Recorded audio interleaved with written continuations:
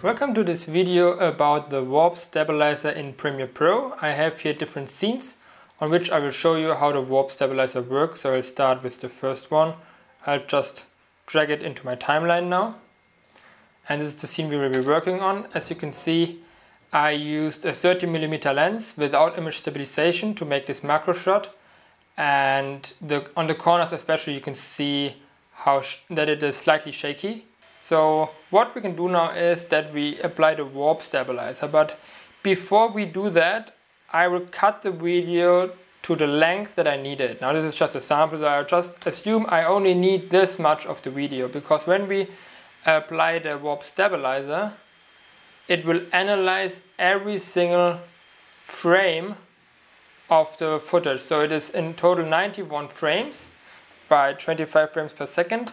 And if I would have left it on the whole length, it would now take forever, while now it only takes a few seconds. Um, it depends on your CPU how long it uh, takes, but for me it's usually quite fast. So first it analyzed it, now it stabilized it.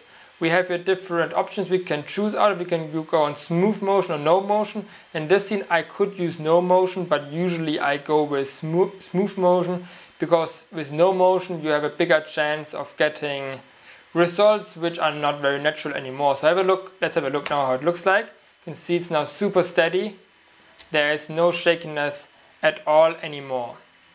So this was a quite simple sample. Let's now look on a sample which is much harder. There's a scene, I think I recorded this with like 80 millimeter or something like that. And you can see it's like super shaky, it's, it's like horribly shaky. And I also already applied the warp stabilizer, now I will activate it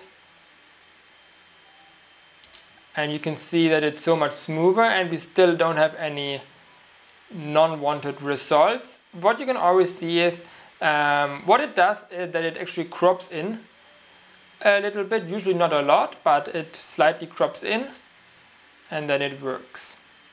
Let's have a look on a scene where we have uh, moving, where our picture is moving, where it's not still. So this is a scene me with the static cam. It's quite steady, but especially if you look in this area, you can see that it's actually not perfect. And when we activate now the warp stabilizer, again it slightly crops in and now look on this corner for example. See there's nothing shaking anymore, it's now really smooth. So my static cam shot looks much better. Here we have one more scene. You can see it's slightly shaky again. It's the 30mm lens without image stabilization. And it's a little bit shaky. So let's see how, what we can do about it. We again use the warp stabilizer. It is not shaky anymore. But you could see why, by using the warp stabilizer we got some results which we don't really want. And we can see that the distortion is now much smaller which we get as a result but it is still there which is of course annoying.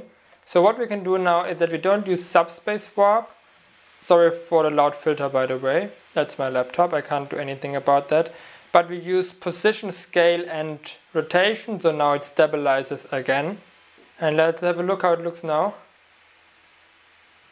it's again only on, on 10%, but since it now uses a different method, we don't have the warping anymore. We have a bit of this zoom effect again, I have the feeling.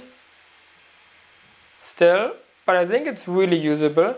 It is not as smooth anymore because we're only on, on 10%, but I think that's the best result we can get.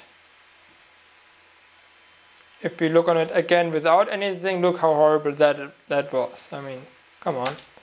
Okay. Um, in general, I always start with the subwave uh, warp, and if that doesn't work, I go on 10%, and if this still doesn't work, then I go on position scale and rotation. Um, we also have the different framing options. If you do stabilize only, then you can see we have some black lines here called it doesn't crop. If we go on stabilize and, and crop, that still is only half of the work because it also has to do auto scaling in order, like it is now squared, but it still didn't auto scale it and we own and we still have to do auto scale so it actually is on the full frame. If we would now do synthesize edge, I don't do it.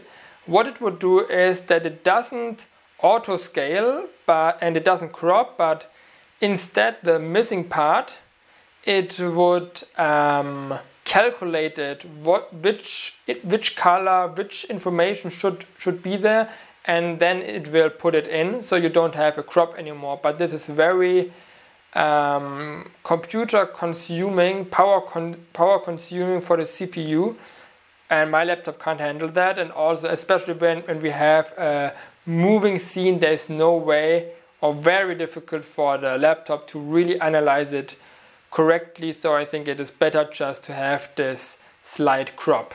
That's it.